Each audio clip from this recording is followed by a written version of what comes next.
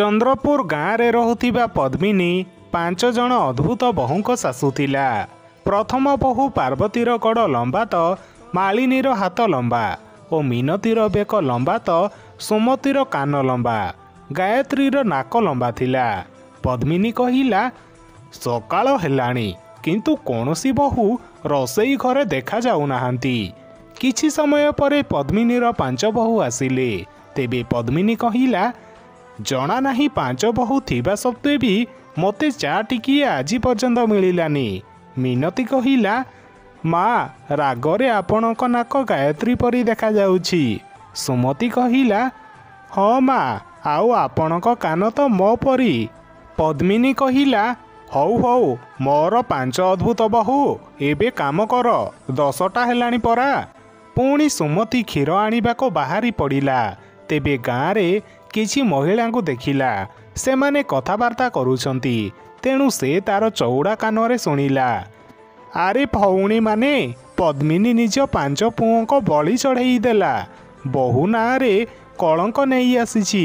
ନିଜ ପୁଅଙ୍କ ଜୀବନ ନଷ୍ଟ କରିଦେଲା ପଦ୍ମିନୀ ଏହା ଶୁଣି ସୁମତି ପାଖକୁ ଆସି କହିଲା ଚମ୍ପା କାକି ଏସବୁ କ'ଣ ଆମ ନାଁରେ ଚୁଗଲି କରୁଛ? ମୁଁ ମାଆକୁ ଏ ବିଷୟରେ ନିଶ୍ଚୟ ଜଣେଇବି। ସୁମତି ଘରକୁ ଆସି ଏ ବିଷୟରେ ତା ଶାଶୁକୁ କହିଲା। ତେବେ ପଦ୍ମିନୀ କହିଲା କ'ଣ ହେଲା? ସେ ଚମ୍ପା ଏପରି କହିଲା ଯେ କିନ୍ତୁ ମୁଁ ତାକୁ ଅବା କ'ଣ ଦୋଷ ଦେବି? ତୁମେମାନେ ତ ମଣିଷ ପରି ଲାଗୁନ ବି ସେହି ସମୟରେ ଚମ୍ପା ସେଠାକୁ ଆସିଗଲା। ତା ସହ ଗାୟତ୍ରୀ ଥିଲା।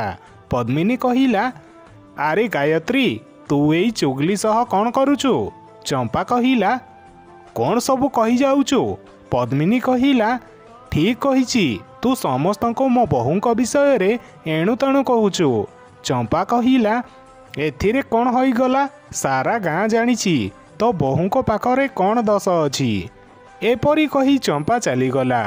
ପୁଣି ଏହିପରି ସମୟ ବିତି ଚାଲିଲା। ପାଞ୍ଚ ଅଦ୍ଭୁତ ବୋହୂ ନିଜ ଶାଶୁଙ୍କ ମନ ଜିଣିବାକୁ ଚେଷ୍ଟା କରୁଥାନ୍ତି ଗୋଟିଏ ଦିନ କିଛି ଲୋକ ପ୍ରଚାର କରୁଥାନ୍ତି ଶୁଣ ଶୁଣ ଶୁଣ। ସମସ୍ତ ଗାଁର ମହିଳାଙ୍କ ପାଇଁ ଗୋଟିଏ ପ୍ରତିଯୋଗିତା ରଖାଯାଇଛି। ଯେଉଁଥିରେ ପଚାଶ ହଜାର ଟଙ୍କା ପୁରସ୍କାର ରଖାଯାଇଛି। ଏହା ଶୁଣି ପାଞ୍ଚ ଅଦ୍ଭୁତ ବୋହୂ କଥା ହେଲେ।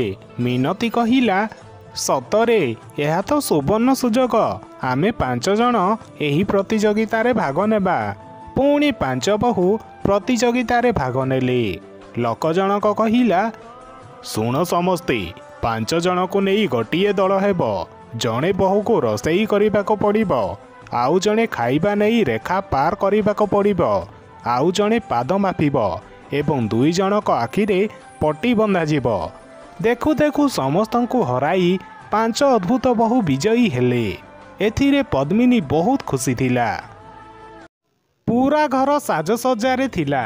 ତେବେ ପାର୍ବତୀ କହିଲା ରାଜୁ ତୁମେ ଏଇ ବର ବେଶରେ ଭାରି ସୁନ୍ଦର ଲାଗୁଛ।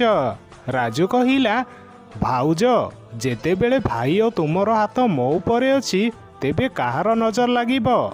ଦିଅର ଭାଉଜ ଏପରି କଥାବାର୍ତ୍ତା କରୁଥିଲେ ତେବେ ରାଜୁର ବଡ଼ ଭାଇ ସୁନୀଲ ଆସି କହିଲା ଦିଅର ଭାଉଜଙ୍କର ଯଦି କଥା ସରିଲା ତେବେ ଯିବା ସମୟ ହେଲାଣି। ବରଯାତ୍ରୀ ସହ ସମସ୍ତେ କନ୍ୟାର ଘରେ ପହଞ୍ଚିଲେ। ତେବେ କନ୍ୟାର ମା ସାବିତ୍ରୀ କହିଲା ଆପଣ ସମସ୍ତଙ୍କୁ ସ୍ୱାଗତ। ବିବାହର ସମୟ ହେଲାଣି। ମୁଁ କନ୍ୟାକୁ ନେଇ ଆସୁଛି। ସାବିତ୍ରୀ ଯାଇ ତାହାର ଝିଅ ସବିତାକୁ କହିଲା ଝିଅ ମୋ କଥା ଧ୍ୟାନର ସହ ଶୁଣ। ତୋ ସ୍ୱାମୀର ଭାଇ ଭାଉଜ ତା ପାଇଁ ସୀତା ଓ ରାମ। ତୁ ଏପରି କରିବୁ ଯେମିତି ରାଜୁ ଲକ୍ଷ୍ମଣରୁ ବିଭୀଷଣ ହେବ। ସବିତା କହିଲା ଦେଖୁଥାଅ ମା ଗୋଟିଏ ଥର ମୋ ପାଦ ସେ ଘରେ ପଡ଼ିଯାଉ। ସବିତାର ମନରେ ପୂର୍ବରୁ ଅହମ୍ ଭାବ ଭରି ଯାଇଥିଲା। ବିଧିବିଧାନ ଅନୁସାରେ ବିବାହ ସମ୍ପନ୍ନ ହେଲା। ଘରକୁ ପହଞ୍ଚିବା ପରେ ପାର୍ବତୀ କହିଲା ଆମ ଛୋଟ ପରିବାରକୁ ତୁମକୁ ସ୍ୱାଗତ ସବିତା। ସବିତା କହିଲା ଯଦି ତୁମର ପରମ୍ପରା ସରିଲା ତେବେ ମୋର ରାସ୍ତା ଛାଡ଼ି ଦିଅ ମୁଁ ବହୁତ ଥକି ଯାଇଛି। ସବିତାର ଏପରି କଥାବାର୍ତ୍ତା ଦେଖି ପଡ଼ୋଶୀ ମହିଳାମାନେ ନିଜ ନିଜ ଭିତରେ କଥାବାର୍ତ୍ତା କରିବାକୁ ଲାଗିଲେ। ତେବେ ଯମୁନା କହିଲା ପାର୍ବତୀ କିପରି ଯାହାକୁ ବାହାଘର କରି ଆଣିଛୁ? ନୂଆ ବୋହୂର ଏପରି ବ୍ୟବହାର? ଛି ଛି। ପାର୍ବତୀ କହିଲା ଏମିତି କୌଣସି କଥା ନାହିଁ। ବାହାଘରରେ ନୂଆ ବୋହୂ ଥକି ଯାଇଛି ନା ତେଣୁ ତାର ମନ ଚିଡ଼ିଚିଡ଼ା ହୋଇଯାଇଛି। ଏହିପରି ପାର୍ବତୀ କଥାଟାକୁ ସମ୍ଭାଳି ନେଲା।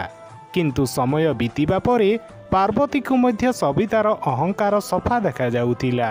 ଏହିପରି ଗୋଟିଏ ଦିନ ସବିତା ତୁମେ ମୋ ସ୍ୱାମୀ ଉପରେ କ'ଣ ଯାଦୁ କରିଛ?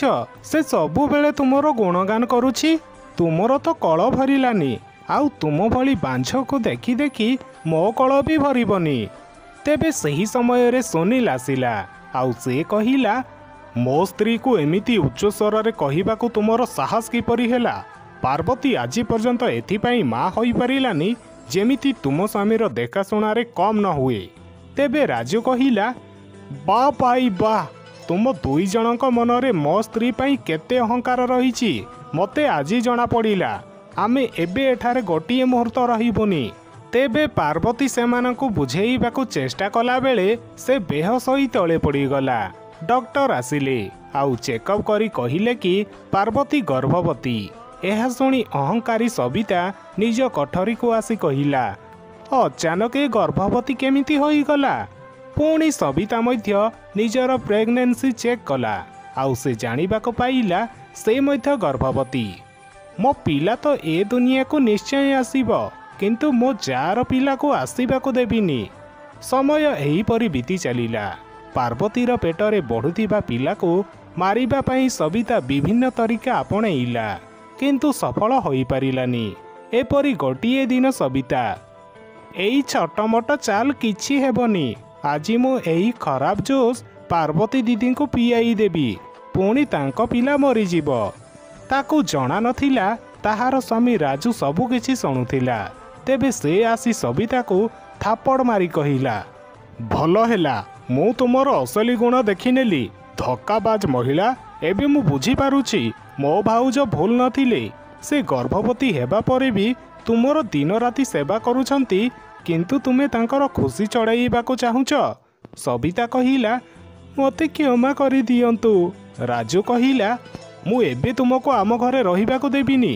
ଯେବେଠାରୁ ତୁମେ ଆମ ଘରେ ପାଦ ଦେଇଛ ଏ ଘରକୁ ତୁମେ ନର୍କ କରିଦେଇଛ।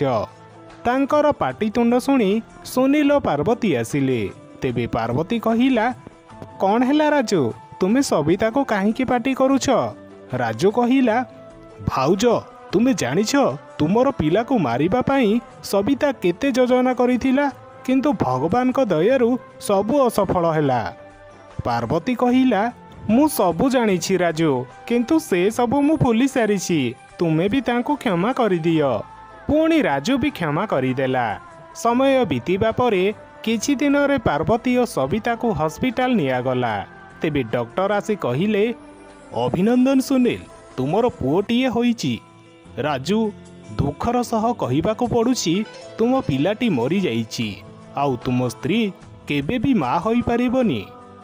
ଏହା ଶୁଣି ସମସ୍ତେ ଦୁଃଖୀ ହେଲେ। ତାପରେ ସମସ୍ତେ ସବିତା ପାଖକୁ ଗଲେ। ପାର୍ବତୀ କହିଲା ସବିତା ଏ ନିଅ ମୋ ପୁଅକୁ ତୁମକୁ ଦେଉଛି।